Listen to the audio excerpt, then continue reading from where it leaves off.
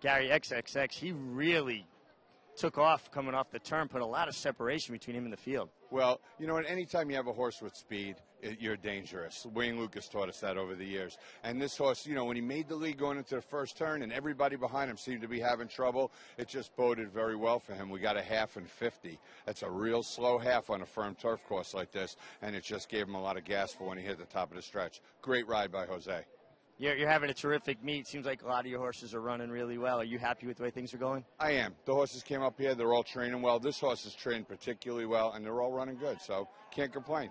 What's it mean to win up in Saratoga? I know it's great to win anywhere, but particularly up here. No, no, no. Winning in Saratoga is like winning the World Series. This is where you want to win. The, the eyes of the world are on this track right now. Congratulations. Great job. Thank you, Rich.